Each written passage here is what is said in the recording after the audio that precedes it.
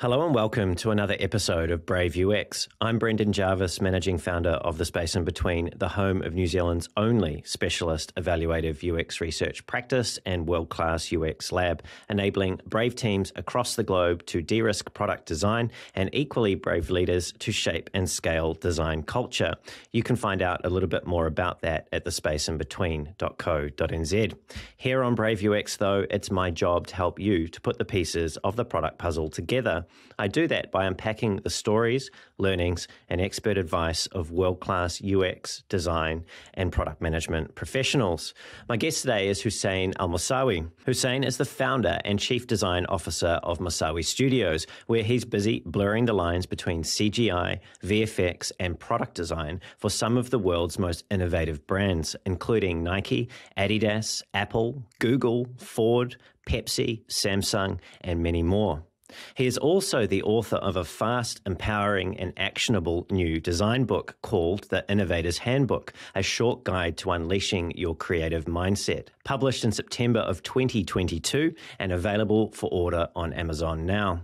Before founding Mossawi Studios, Hussain was a senior designer at Ford Motor Company, and before that, he was a hardware art director at Apple, where he worked on Apple Watch 7. Hussain's unique set of multidisciplinary talents have also seen him invest several years at Adidas, where he worked to shape the future of sport through athlete driven innovations as a senior advanced concepts designer. He has also been a design consultant for Nike, an interface designer for Electronic Arts, and a senior designer at Unisono, working for Bahrain's largest telecommunications company. A trained industrial designer, Hussain is a co founder and designer of the N Cycle, an innovative and award winning e bike concept that was recognized by Yanko Design as one of the top 10 transportation products of 2014. Hussain's work and writing has been featured in Wired, Little Book of Characters, Fast Company, Forbes, 3D Artist Magazine, and more. He has also been a speaker at many conferences, including Around Conference, Saudi Design Week, and ING Creative Festival. And now he's here with me for this conversation on Brave UX. Hussain, assalamu alaikum, and welcome to the show. Thank you. Thanks for having me. It's great to be here. Well, it's really great to have you here, and it was thoroughly enjoyable watching some of your previous interviews and learning more about your book, Hussain. Now, you grew up, one of the things I learned is you grew up in a small island kingdom in the Middle East called Bahrain, which is really a world away from where you now live in New York. And I was curious, what stood out for you back in, I think it was around 2006 when you first arrived in the United States. Like how much of what you experienced in those first few months lined up with what your expectation of life in America would be like? Sure. Uh, so it's not really about the life in America, I'd say. Uh, it all started before that, uh, when I was very young, uh, maybe in elementary grade, like maybe around sixth grade, seventh grade. I always had this uh, passion for sports and design. I always loved those two areas. And as a young kid, I, I wanted to do big things. I wanted to work for NBA athletes, for soccer athletes, or football. And that took me on this journey of designing things, just desktop wallpapers for these players out of passion. No money in return. Uh, I did that out of my bedroom after school. Uh, spent lots of nights just doing these desktop wallpapers, desktop wallpapers, getting to know lots of amazing people from around the world. And we did that together as a group.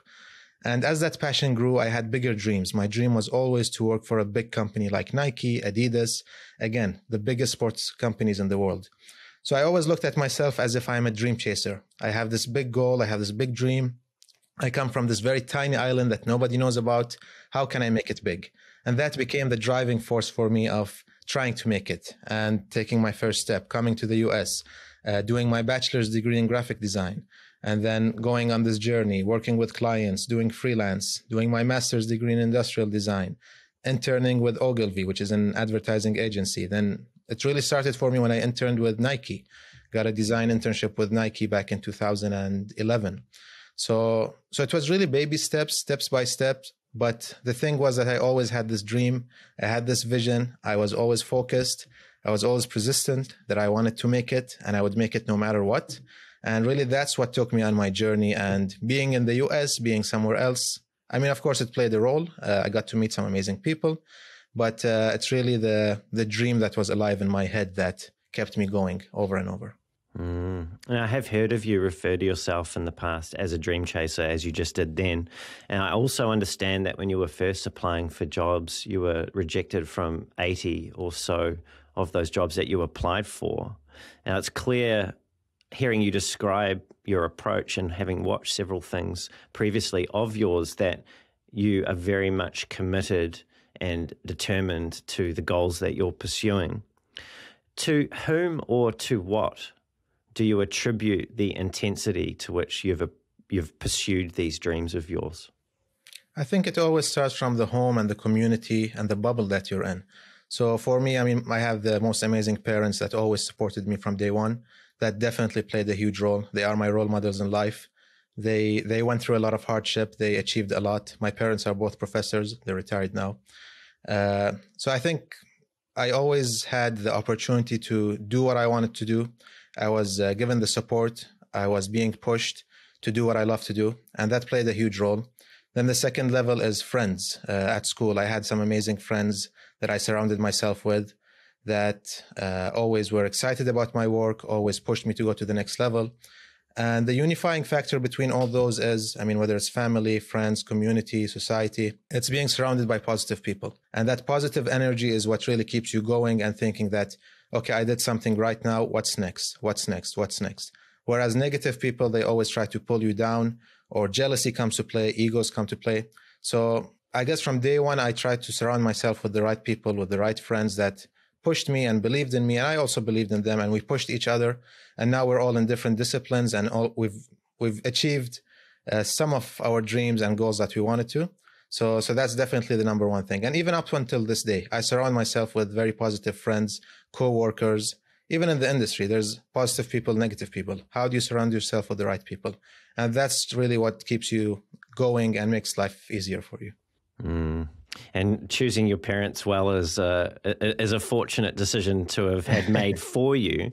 You mentioned there that they're now both retired, both professors, you know, clearly intelligent people. You also touched on it very briefly that they had endured some hardship in their life. Now, obviously, not wanting you to describe anything you're uncomfortable here with, but what was it that you observed in their handling of or reactions to adversity that you thought, oh man, that is that is a really useful way of being in the world? You know, what was it that you experienced that helped you to forge this determination that you have? Sure. So there's lots of factors. One, I mean, when I talk about hardship, my parents didn't necessarily come from the most fortunate or from the most rich families, and they always had this dream, this dream of going the highest possible in their education. And for them, that was the dream of getting their PhD. They went to the UK. That's where they studied. And they, it was, it was really tough, you know, having two kids, uh, being alone in the, uh, away from home. Like I feel the same thing now. I'm in the US. I have two kids and it, it's really tough without family. So they went through a lot of hardships, through a lot, a lot of struggles to, to achieve what they did, whether it was in university, whether it was going, doing their master's degree, PhD, raising kids and so on. So I, I always look at my parents. Uh, I mean, one part of it is the struggle that they went through uh, to achieve what they wanted to achieve, uh, reach the highest level of education, become professors in the university. That was their dream. And the second part is that when I look at my parents and how much they believe in me and how much my friends believe in me, to me, that creates a sense of pressure that I have to deliver people are expecting something high of me and i have to deliver to the highest level that i can of course up to my limits. So so that i think that becomes a huge driving force to me of not just pleasing my parents or friends but meeting those expectations that are set and hopefully surpassing them as well. So it becomes more of a mental game yeah, and you you really are someone who throws himself 100% into his work and I've heard you talk about this about being a designer and the way that you approach design and I'll quote you now. You've said it's a lifestyle, really. I never have to think about my job as a 9 to 5 job. I work 24 hours. Even when I'm sleeping sometimes, I'm thinking about ideas. It's not it's it's not a good thing, but you live like you're totally into it. So clearly design's more than a job for you. And yet you're also a father. You mentioned before you had two children, you're a partner, and you are many other things as a person outside of design. So what boundaries, if any, have you had to put in place to protect the other valuable aspects of your life? Yeah, that's a great question. And I actually wrote a blog post about uh, parenting recently and managing your time between parenting, family, and business and being a designer. So when you first start out as a student, let's say you're in university or you're very passionate about whatever, not just design, it's really easy to to go in 24/7 and do what you love just out of passion. And then as you progress in life and there's other responsibilities that come to play, marriage, uh, kids, you know, so there's these different layers that you now have to take care of. Uh, I think it's just experience comes to play uh, of how you split your time and how you manage your time. So when I did something for, let's say, if I wanted to execute something for 10 hours 10 years ago, now I can do it in an hour just because I have the experience. And if it took me 20 hours to learn something, well, now I know that skill, but I'm just building on my skills. So there's a, a huge level of experience that comes to play. And then I'm also applying that experience of time management and how I can execute things in a timely manner and doing the same with my family as well. How can I give my kids the time that they need? How can I be with my wife and give her the time that she needs? And so on. Because at the end of the day, if I'm a really successful designer, but I'm I fall short when it comes to family, I think that's like a huge failure in life. So I really need to balance the two. And when I when I do well in my design life, it's gonna feed into my family life and so on. So so keeping that balance, keeping an eye out for other things that matter in life, that's really important, especially for your mental state as well. Mm, 100%. I, I've also got a family, and I've heard it described previously this balancing act that we do when we're busy professionally and also wanting to succeed at home is that there are some some things, some balls that if you drop, they don't bounce back. Mm-hmm. And family, I've always viewed as one of those balls that you just can never you can never afford to let it to let it drop. For sure. And time passes and kids grow really fast. So mm. I could try to become maybe if I spent all my time just designing and not worrying about family, maybe I could become a much better designer. Maybe I could get much more projects and financially be stronger.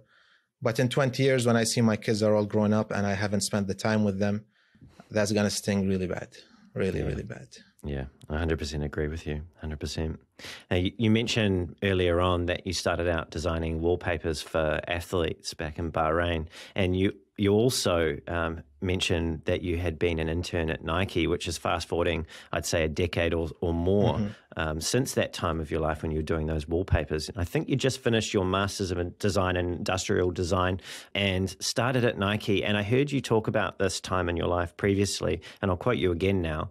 You said, This is where my mindset shifted as to what innovation is, what design is. Nike played a huge role in how I look at design until this day.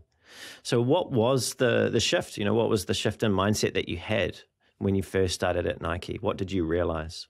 Sure. So the the wallpapers I did up until let's say going to university. That was in 2006, and then between 2006 to 2011, when I got my internship, it was doing my uh, bachelor's degree in graphic design and also doing lots of freelance work for Adidas, for other brands, and also interning uh, for ad, ad agency Ogilvy. In 2011, when I uh, interned at Nike, it was a Nike design internship over the summer. They chose around 11, I think, or they chose around 14 designers, and about 10,000 people had applied. So it's really competitive and challenging. And it, it really changed the, uh, the way that I look at design because before I looked at design as doing something that aesthetically looked cool and pleasing. And to me, that was design, something that's very visually interesting. But when I joined Nike, I really learned more about the function of things. How do you innovate? You know, innovation was the key word. How are we innovating on this project? What's what's the innovation story? And so on. Everything became about innovation. Even at Nike, like lots of people see Nike as a sports company, a shoe company. But when I went to Nike, I learned that no, it's an innovation company that does shoes. It's an innovation company that does sports products and so on. So everything they do, no matter what they do, if Nike was to design a car tomorrow, it's going to be about innovation. And they just happen to design that car. So innovation, innovation, innovation, that thing uh, came up a lot. And then I was really curious about how do they innovate? Why do they innovate? What are some of the techniques that they use? And throughout my journey in my career, when I went from Nike, when I went uh, to Adidas, EA Sports, Ford, Apple, and so on, I saw a lot of overlapping patterns between the mindsets of the amazing people that I worked with And there was no written guideline or rule book that this is how you innovate. But it was just patterns of things that amazing designers did that allowed them to think outside the box and come up with cool ideas and create the amazing things that we see in the market today. So, yeah, for me, it all started with Nike. And I do want to come to your book very, very soon. I am curious to understand because you did spend several years at Nike after your internship, and then you made the the jump into Adidas, and you spent several years there as well.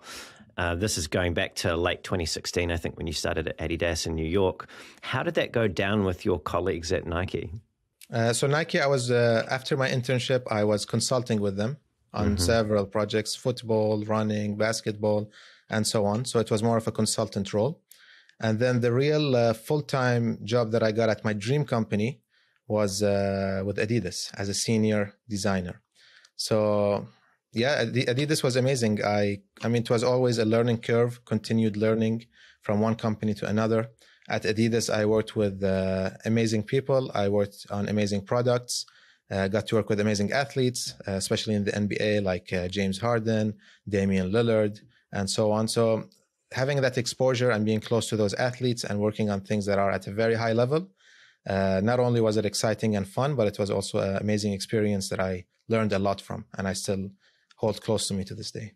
Mm. And I've heard you describe your time there, and I'll quote you again. You said, I was working on the innovation team where my job was to think about the future. What does the future look like? And come up with crazy, wild ideas. Just exactly. how, yeah. So, just how far into the future were you looking? So, when you work with innovation teams, whether it's Adidas, whether it's any other company, I mean, every company, the big companies, Fortune 500, they have innovation teams that just think about the future. So, so in the industry, for example, you have an innovation team that looks at things, uh, let's say, 10 years in the future. And then you have a team that works uh, three to four years out in the future. So when I, the team that I was on, it was looking at things about three to four years out in the future. And then you have a team that is closer to the market that delivers things to the market, which is called the inline team. And then they take, you know, you hand off those big ideas, those great ideas to the inline team, and then they start to look at what's realistic, what could be done, what could be brought to the market at this point in time, and they would package it, uh, work on it some more, and then ship it out to the market. So usually you have those phases in the industry. Uh, but when it comes to innovation, no matter where you stand, like whether you're thinking about four years out, 10 years out, the goal is to think uh, about the future. Let's say, what does the year 3100 look like if I want to design the next shoe? And it just gives you a totally different perspective of what is possible. It allows you to ask different kind of questions. It allows you to challenge the manufacturing process. Maybe it's a shoe that flies. Maybe it's a shoe that's for Mars. Maybe it's a shoe that makes you walk upside down and so on. Some ideas will be super silly, some ideas will be crazy, but just putting those ideas on paper and thinking that nothing is impossible, that's the first step that allows you to unlock your innovation journey and innovation process. And then you start to ask questions. Is this possible? Is this not possible? Is this crazy? Can we do this? How can we do this? So it's like you design the future, let's say 3100, bring it back to 2022, and then see, okay, what's realistic? What can we do in year 2022? and so on. You keep challenging yourself every year, year after year, and going wild and blue sky with those ideas. Mm, you're almost unbinding yourself from the current constraints there. Exactly, exactly. Because, the, I mean, when we start to work with the constraints we have, usually we start to design the exact same stuff that exists. But when we start to challenge ourselves, I mean, just changing the year 2022 to year 3000, that in itself gave me a different perspective. Another example is, for example, uh, it's called flipped assumptions. I have this example in my book. So let's say we are designing a, a bicycle or we're designing a restaurant, a restaurant concept. So what are the assumptions we know about a restaurant? It has chairs, it has tables, it has a, a chef, it has a kitchen. These are the assumptions. Now, if we flip those assumptions, what do we get? It doesn't have chairs, it doesn't have tables, and so on. So, so what, what's the result? okay, maybe if it doesn't have a chef, maybe I can take my food and I can cook my own food. If it doesn't have chairs and tables, maybe it's a picnic setting where you sit on the ground and so on. Again, different perspective. Some ideas are cool, some aren't, some will work, some will be silly, but it unlocks that perspective that you have and makes you think different. In all of this, so you've worked inside several of these Fortune 500 companies with these innovation functions and with a strategic focus on leading the market in a certain direction, looking you know, way out and trying to bring back some creative thinking and innovation to the present day. What role has the customer played in the design and innovation process? Just like how involved have the people that you're seeking to serve through the products and experiences that you've been creating? Just how involved, if at all, have they been in this picture? Sure. So, so the part that we talked about, thinking about the future, crazy ideas, that you kind of go wild on your own. It can be built off some insights just to go loose on ideas. But when you when we are working on a product that is coming out to market, or we are looking for, let's say, starting the brief even before innovation, setting the brief of what's the next shoe of 2023? Is it the most comfortable shoe? Is it the most lightweight shoe? Is it the most durable shoe? How do we define that? Any project I've worked on in any industry, it always starts from the brief which is informed by the insights that we collect from the customers. So when you work at a company like Nike, Adidas, Puma, these sports companies, the ath- it always starts with the athlete. What does the athlete need? Uh, Nike has a saying, uh, always listen to the voice of the athlete. So that's where everything starts. That's where our insights start. Talking to them, observing how they play, looking at their injuries, bringing them to the office and, you know, having these uh, very high end uh, sports science machines that can scan them and do everything on their feet. So it always starts with the client, with the customer. And that's where we gather our insights. That's where we understand what we need to do. And then once we understand what we need to do, we start to innovate. Then we start to think about what that looks like, like a thousand years from now. But we always have to start from the athlete or the customer. There's a couple of things that came to mind there when you were describing that. The first is that the products that we buy as consumers from a company like Nike are really gifts that are given to us from the athlete, but channeled through the company.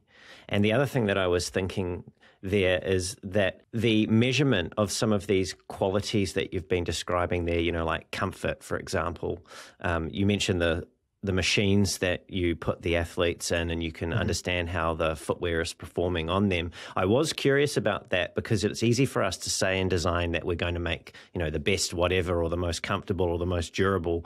And I was curious about how we actually know if that's our desired outcome from an innovation. How do we actually know if we've achieved that? Yeah, so there's excessive uh, testing that happens once you design the product. Let's say it's a football boot. Uh, there's these machines that it's like robotic arms that just kicks the ball a million times. We're testing just to understand how strong the leather is. After how many shots does it still look the same way it was in the beginning? Uh, same for the other stuff, the lightweight, the comfort, and all that stuff. So there's different testing methods that are in place. But at the end of the day, when a product comes to the market, and having people, millions of people around the world test it, you're going to get different conditions that you can't necessarily test for. Uh, environment is one thing.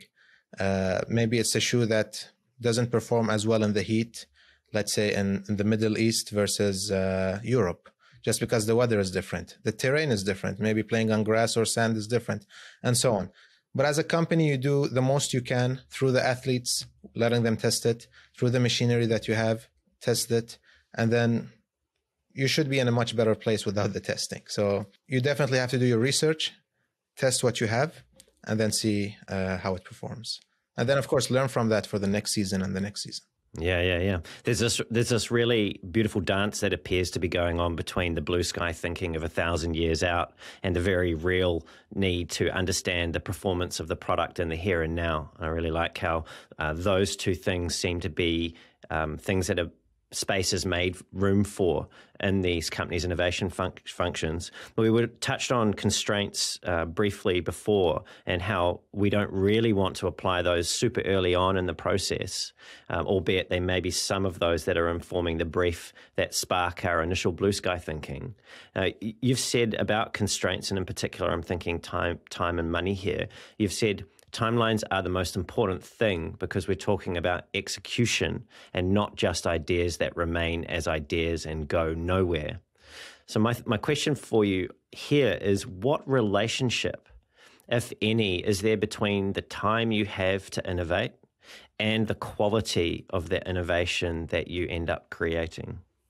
Sure. So as a, as an innovator, as a designer, it's like a muscle that you train. And when I know that I have one month to come up with ideas, it's gonna pressure me and it's gonna allow me to come up with let's say 10 or 20 or 100 ideas within this time frame. But when it's open ended, you're always of gonna come up with better ideas. If I told you that I can design a, a certain phone in a better way, and then I sleep on that idea, the next day, the next week, the next month, I'm going to keep getting better ideas, better ideas, better ideas. But what's the point of having a good idea that isn't executed? So, so that's what I meant in the book when I mentioned that. And as designers, we, I mean, our sketchbooks are filled with ideas. But again, what do you execute? What goes back to your question of has it been tested? Have we tried it? Is it possible? So we really need to go uh, and test our ideas, see if it's realistic. Can it be made?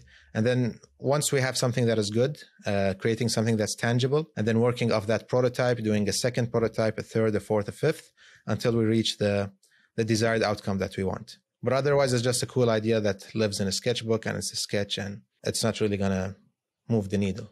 Mm. Yeah, there's a very, very much a, a practical part of innovation. You know, ideas, anyone can have ideas. Uh, there's a common um, theme out there that turning those ideas into things that actually work in market, that's the really difficult thing. Now, in doing that, in, in, in trying to innovate, you're obviously assume, you're assuming a level of risk here because what you do may may not work. And I realize that there'll be a process of trying to mitigate that risk as you're going through that as a designer. So let's talk about that. You know, what is it from your experience as a designer working on these teams and being involved in seeing the successes and failures of these teams? What is the the key skill or the characteristic that you feel is required to discern which of those ideas have the best chance of being successful in market? So there's a few things. The first thing is collaboration. When I'm working with a team and I can push my ideas on the team and then bounce ideas off each other, it gives me validity of am I think am I being really crazy with my ideas or not? Maybe somebody can twist the idea, change it up a bit, take it to a better place. So when I look at innovation, I always look at we are at point A, we want to go to point B, but really innovation happens on point C, and we never thought point C is going to happen. So when we land on that territory, it's uh, collaboration is a huge thing. It pushes you left and right, and you have to be flexible and you have to be willing to not be stuck on your ideas. So that's that's the most important thing. The second thing I'd say, which is a very common factor, and you need as an innovator and to come up also with great ideas, is being fearless. Because the idea of fear and me being afraid of putting my idea on paper and presenting it to you and to the team that's that's the first very first step that's going to kill any idea. I might have an amazing idea just because i think it's a stupid idea or a silly idea. I would never put it out there. So put all your ideas out there share it with the team even on the team. Like it's not just designers. So when i worked in the industry so it's it's a designer it's a developer it's uh, i worked with sports science i worked with a doctor a medical doctor and those give you val- validation like okay this is what we need to do. This is how we can do it. Can i use this material? Uh, a manufacturing expert uh, talking to the factory. Can we do this now? Can we not do this now? So all these players they play a huge role into how we innovate and what we can innovate. So so definitely learning from them and also bouncing ideas off of each other. You mentioned being fearless and the role of that and actually pushing through some of the uh, doubts that one might have about your ideas and also the role of collaboration there. And fear and collaboration, well, fear can drive some pretty positive and some pretty negative human behaviors. And collaboration with any other human is often fraught with challenges. You know, that in itself is a bit of a dance in order to get it to get it right, get it fluid and get the ideas flowing. You've said before, and I'll quote you again, that negative mindsets are the biggest poison to innovation. Tell me about that. So, this takes us back to the first point that we made about me growing up and surrounding myself with the positive people. Mm-hmm. So, even in the industry where you have the best of the best, supposedly, in each company, uh, the best designers, the best marketers, the best so on, there's always, again, the positive people and the negative people. There's the people that want to see you thrive. There's the people that want to take you down. There's the egos. There's the jealousies. There's the politics. There's a lot of stuff. I mean, as as a young kid growing up, wanting having a dream job and wanting to be in the industry, I thought that the moment I make it, it's like That's it. Happy land. I made it. Mm-hmm. I, don't, I don't need to think about anything else. But in reality, when you're inside, there's so much people fighting against each other, trying to get promoted, trying to push for their ideas. There's stuff that the public doesn't see. And again, it's different from company to company. I won't generalize. But there is that poison that is there, which is the negative people, the negative mindsets. You might put a great idea on the table. They would kill it just because they don't like you. They don't like somebody else who liked it. You know, there's those kind of dynamics. So even within the industry, speaking just uh, like from my experience, again, I would also choose my team.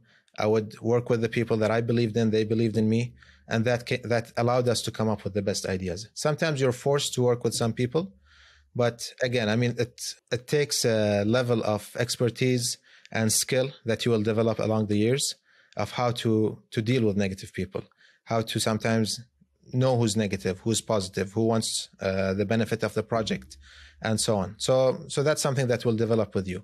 But keeping an eye out for who's positive and who's not, uh, it's definitely key. And I also remember a, a quote that I heard. Uh, this goes back to your previous question about ideas and execution and all that. So I think it was by Les Brown. He's a he's a very well-known motivational public speaker. I think it was him.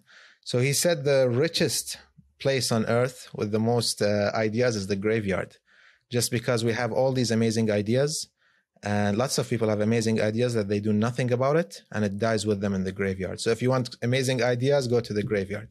And I thought that's really powerful. Of uh, you know, just taking accountability and executing and believing in yourself because time is really short. Time is really short and we don't live forever. If you have an idea, go for it. It's so true. You and I were talking before we hit record. I recently had a conversation with Mauro Porcini, who's the chief design officer at PepsiCo. And he's obviously a, a huge proponent of design and innovation um, within the enterprise. We were talking about his career journey and how, while he was at uh, the 3M, I believe, that the the corporate knives came out and he learnt a hard lesson about politics, about people, about associating his self worth with his work, and made some subsequent changes there that have enabled him to become an even greater design leader and become the person he is today. You mentioned you know, you had this idea, this assumption that you get your dream job and then you're in happy land. Uh, and it sounded like, you know, you, you've bumped up against your own version of challenge and things that haven't quite gone to plan in the workplace. What are some of the changes in perspective or practice that you've had to make as a professional, as a designer, to manage that pushback, that challenge that you've had from other people? So sometimes, I mean, when you're in the industry, you have to be very diplomatic at times and understand how the dynamics work and when to push, when to choosing your battles. I think that's really important. And even battles, I don't mean like just fighting and all that. I mean, even like if you have an idea that you believe in, sometimes is it worth it to, you know, really push hard for that idea? How much do you believe in that idea? Sometimes just letting it go. So you have to really play that game with the team. For me personally, I mean, I I learned a lot from the industry. I learned a lot from those team dynamics. I learned a lot about run uh, leading teams, working with teams. But for me, always the question was, what's next? And I think that was also part of my journey and progression. What's next? What's next? I want to be here. I want to be here. I want to work for this company, for this company. And my big what's next was I want to start my own studio. And since I started my own studio, I mean, I always, I always felt this way that when I'm in the industry, no matter what company I work for, even if it's the biggest company in the world, at the end of the day, I'm just a number. And we've all seen these layoffs that happen just because of a, an economic situation that happens, or any any situation could happen in the company. You could get, be let go of your job. You're just a number. You're a slave to that company. Whereas when I'm running my own studio, no matter how small it is, I'm running my own empire. I'm choosing my team. I'm growing my empire. So this idea of having an empire, it really uh, it motivates me. And if you look at the big uh, companies, Adidas, Nike, Apple, it all started with one person. They were nothing at one point. So how can we? To me, that's the biggest learning of how can I learn from Steve Jobs? How can I learn from Phil Knight? How can I learn from Adolf Dassler and so on? And being a founder, starting my studio, growing my studio, choosing who I work with, it just takes a lot of the negative people out. It takes a lot of the negative energy out. And I'm running the show the way I want to run it. Of course, there's other challenges running a business, but at least the negative side and the negative people and the negative vibes, uh, I can get rid of a lot of that. Mm. Speaking of vibes, I've seen your studio, Mossawi Studios show reel. And the sense that your showreel gave me was that it's very fluid, very organic, very playfully curious in the way that the work comes across. Now, clearly, that's just my subjective interpretation of what I saw. And I was curious about your reflection on your own creative style and what you're trying to you touched on some of the things you're trying to actualize there through the studio from a personal um, and professional standpoint but through the creative lens of what you're trying to do. Um, w- how do you think about your creative style? Do you think that you have a specific style? And from Absolutely. where do you gra- where from where do you source or um, feel that you achieve your most inspiration from Sure. So, so absolutely. When it comes to style, I always like to think of myself as, and my studio at least, of having a modern style, futuristic style, and something that is minimal or playful. So, so those three things are ingredients that I I try to infuse into every project that I do. And when it comes to the work that I do with my studio, uh, so my background was in graphic design. Then I moved to industrial design, and then I learned visual effects and 3D on my own. So, been jumping around as a designer. So my, my goal has been to blur the lines between industrial design and visual effects. Visual effects means like the cool motion, 3D animation that you see, fluids, uh, stuff exploding, breaking up. So that kind of crazy stuff. And how can I bring that world with the world of industrial design and blur them together? Because when you find these intersections of things that sometimes don't relate, that's where a lot of innovation can happen. So I try to infuse that idea and that principle into my process as well. So, so that's one thing. Uh, when it comes to being inspired, uh, I speak about this in the book as well. Uh, when I was interning at Nike, uh, Tinker Hatfield, who's a who's a huge name in the footwear industry, uh, I was uh, I met him and asked him for some advice on how I can grow as a designer. The number one advice he gave me was to be a sponge. And by being a sponge as being open to all new ideas, having not being stuck in your own perspective, when I'm going out in the streets, going to a soccer match, going to a basketball match, observing the game, observing the environment, looking at the stadium, looking at the architecture, looking at the people. So just soaking everything in.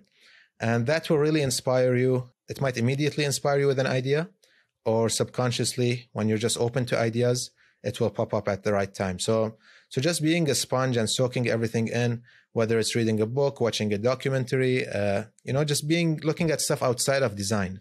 That really helps me connect the dots in a very interesting way and being curious at all times.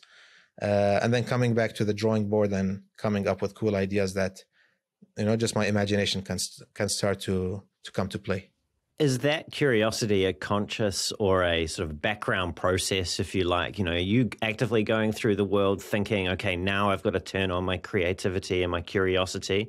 Or is this something that, as a sponge, as Tinker was advising you to be, that you are just doing through osmosis of just living your life?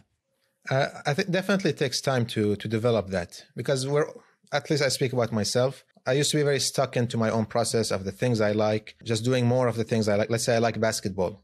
So I just look into playing basketball, uh, looking at basketball athletes. If I'm doing a basketball shoe, looking at what the basketball world looks like. But now that I'm more open, uh, I would look at what things that outside of sport looks like. How do those people uh, look at basketball? How is basketball perceived in culture? How is it perceived in uh, different movies and so on? So just looking at things outside of the bubble that I was in opened up a lot of doors and enabled me to think about different and new ideas. Mm. Now, we've talked about the book, we haven't talked about it directly, though. You've recently written a beautifully designed and useful book called The Innovator's Handbook. And in that book, you break down 10 principles, some of which we'll come to in a moment. Now, previously, you seem to have suggested that you wrote this book because innovation is often talked about, yet really practically understood by people. In fact, many people feel overwhelmed by it as a topic and find it very difficult to actually uh, turn into anything real. So, why is innovation often difficult for people to wrap their brains around? So, if you look at innovation books, at least from my experience, every book is like this big, and you get lost into, into how, how do I innovate? How do these how did these great minds think and what's the process how can i be an innovator can i even be an innovator So I, I, always had those questions growing up as an aspiring designer, as a kid growing up. I always th- saw these amazing ideas, amazing companies, and I was thinking to myself, can I ever do that? How did they do that? Why did I never think about that? So when I worked in the industry uh, and I saw these overlapping patterns between the different companies and the amazing people that I worked with, these are like the top 10 insights that I observed, let's say, that I wish I knew 10, 15 years ago growing up. And some of them are simple insights, but it's really, it's not really as complicated as we think it to be. When I, when I know how to approach design or innovation, when I have the right mindset towards innovating, I will start to think about ideas in a different way. And I'll start to come up with ideas that I never thought was possible. And that, that's the whole idea of the book. It's supposed to be a fun, short read, lots of actionable items in it. There's uh, even practical examples of like things that we did in the industry, things that I give in my workshops when I'm doing innovation workshops. So very light read, very fun, to the point. It should be a quick read, and yeah, hopefully it will inspire people to think about new ideas and supercharge their ideas. And I mentioned in the book uh, in the beginning, this is not a ultimate guide to innovation. This this is a short book that would supercharge your ideas and inspire you, hopefully. Mm-hmm. And you spoke about the insights in there, and the second insight, somewhat ironically, is is follow first principles. Now, you've mm-hmm. described the application of this from an industrial design setting and the things that I've heard you talk about previously. And you've said about this, and I'll quote you again deconstructing everything down to its most basic components. So that's what first principles in a practical sense is. You've also said it's easy to fall into the trap when designing something new of looking at how things look and exist and just replicating that and thinking that that is the ultimate way and the best way to do it. So this is this is, I suppose, you're talking about not freeing your mind up to think blue sky enough into mm-hmm. an unconstrained future. So, why is this breaking things down, deconstructing things down, something, you know, the first principles? Why is this something that people should consider doing as part of their innovation process? Sure. So, so Elon Musk does this a lot in the industry uh, with SpaceX, with Tesla. Uh, when I was in the footwear industry, we did this a lot, and I really loved working on this process. And I still use this process a lot with all the projects that I work on. So basically, with first principles, uh, let's say I have a shoe, and we did this like with signature athletes when I was in the industry. Let's say I have a shoe that you know the brief comes in; it has to be the most lightweight shoe that ever existed. So I would break that shoe into its most simplest form into all of its components that make up the shoe. The laces the sole the cushion the insole the the vamp everything. I just tear it apart. I put it on a table. And then my brief was how do i make the most lightweight shoe? So now i go to each one of those elements and i start to question is this serving my purpose? Do i let's say we're talking about the laces. Is this the most lightweight laces? Is there any new technologies that exist in 2022 that can allow me to do a even lighter technology that didn't uh, lace that didn't exist the previous year? Do I even need laces? How can I do laces in a different way? So all these questions. Now I'm just asking about one of the components, and then I would either improve that element, which is the laces, I would remove it, or I would keep it. And then when you do that to each of the parts and then put the shoe back together, you have a much better understanding of what could be done, where's the potential, where are the opportunities, how can we improve this shoe, and usually, uh, from my experience, you tend to deliver better on the brief when it comes to doing a lighter shoe, a more comfortable shoe, a more durable shoe, and so on. Just because you're asking and questioning every part of the shoe, even the manufacturing process. Like maybe something exists now in 2022 that didn't exist in 2021. Maybe there's a new technology in the seatbelt uh, industry that I can use as a fit system in, in, in my shoe that didn't exist the previous year. And we do that a lot. We look at different industries. We look at aerospace. We look at baby strollers. We look at all different kind of things. And then we bring it back. Everything, you know, leads back to the shoe. Is it creating the most lightweight shoe that ever existed? So, so when you do that process and when you package the shoe back together, you'll find yourself in a much better place uh, versus where you started. Your book is very much about m- the mindset for innovation and something like first principles, you know, breaking down essentially people's previous achievements and questioning and challenging and trying to pull them apart so you can build back something better strikes me as something that unless your culture is specifically set up to embrace that, that could be quite confronting and quite challenging for some people. I don't see it as a I don't see it as something that is degrading to the person before you who designed this. It's all a progression. I mean, if the person before me didn't design what they did, I couldn't I can't take it to the next level. So it's all an evolution and it's a progression. And I talk about the idea of evolution in the book. So taking one thing and using that as a springboard to come up with your next idea and your next idea. I mean, all credit goes back to the person who designed the shoe before me and the one before him or before her and so on. So it's the same with the car industry. If you look at uh, if you look at how we started with horses and then how we got the first car and where we are today with the electric cars, it's all a progression. We didn't go from horses to electric cars. So every person within that process and that journey, definitely they played a huge role in terms of where we are today. And hopefully what we do today, it will set the grounds for future innovations 100 years from now, 1000 years from now. If we don't do what we do today, we're not helping the next generation and the one after it. So yeah, it's, it's not it's not one person doing something that is groundbreaking and never been done before. Uh, that's not what innovation is. I mean, at least most of the times. You don't have to reinvent the wheel every single time. You can take what exists, evolve it, improve it, take something and tweak it, and you can come up with something that is innovative. And that's what most innovations around us, uh, that's how they were made. And one of the ingredients to help us do that, to improve upon things that you've spoken about, which I believe you're a big believer in, which is diversity. And you've said about this that diversity supercharges your ideas. The more diverse your team is, the more great ideas you can come up with. So when you're working on an innovation project, you know, when you're deconstructing a shoe or whatever else that you've been doing in your career that's required a level of innovation over and above the incremental, what does diversity ideally look like? You know, what kinds of diversity are most important to have in that room? Sure. So there's two kinds of diversity when I talk about diversity. The first is uh, diversity in, uh, like I mentioned earlier, I'm looking at a shoe that has the best fit system. Okay, I'm looking at stuff that is very unrelated to shoes. Looking at uh, baby strollers, how does it keep the baby fit? Uh, looking at seat belts for a fit system looking at stuff outside of the footwear industry. So that kind of diversity is really important. Finding the intersections. Frans Johansson has an amazing book called The Medici Effect. And his book is all about finding those intersections and how two things that are very unrelated, when you put them together, it can, you can come up with some very innovative and amazing ideas. So that's one part when we talk about diversity. The second part is the actual team. So when we have a team where we come from different uh, cultural backgrounds, ethnicities, religions, languages, skin colors. Somebody's married, somebody's single, somebody has kids, somebody doesn't, and so on. So the more different we are, the more different our perspectives are in life. When we get together and we get along, that's really important. We have to get along.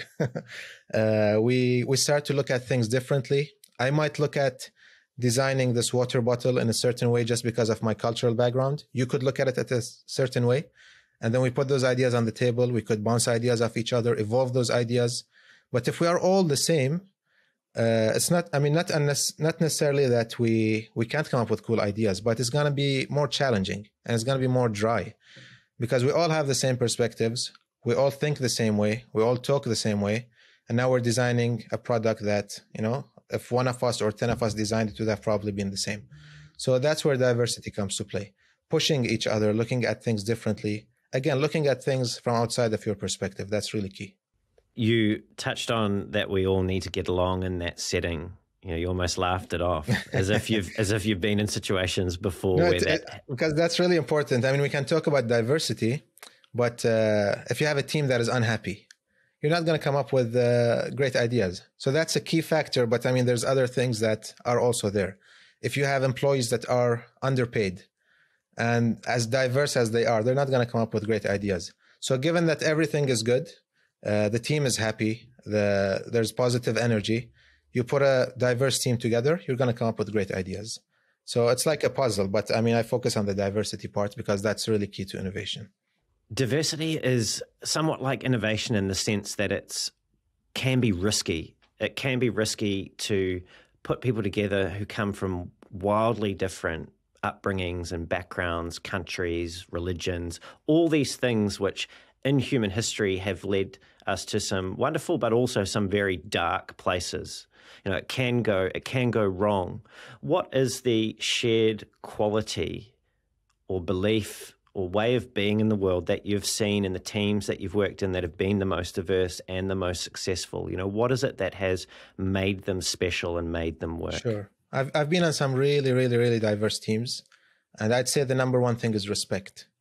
Uh, at the end of the day, I don't want you to endorse the things that I believe in and the things that I think about and my culture and everything else. Uh, neither do you expect that of me. So I think when we have that as a common ground, there is respect. Now we can just focus on work. What language, I, what language I speak at home, what movies I watch, what I do in my spare time. That's uh, that's my business, and yours is yours your business. So, but again, the way I will look at the problem and the brief that we are trying to solve, my background will definitely come to play. Your background will come to play, but the respect is always there. Mm. Yeah, such an important human quality, and would be nice to see more of it everywhere in this world of ours. You've said knowing that failure pushes you to the next level rather than takes you down, I think is a really important mindset to have. And that makes me, this is me now, not you, me, makes me think of Mark Manson's framing of a meaningful life, which I'll paraphrase him here, which is basically uh, not hoping to live one with no problems, but instead trying to live one with better problems, where your problems get better over time.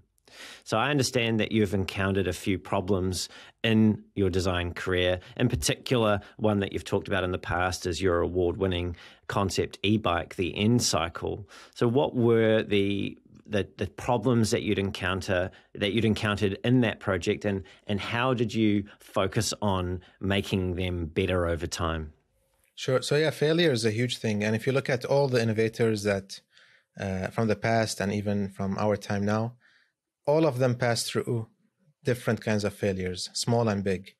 And the moment you start to look at failures, that it's something that will allow you to become a better person, have a more experience. I mean, every every failure, it's an experience that will elevate you to the next level.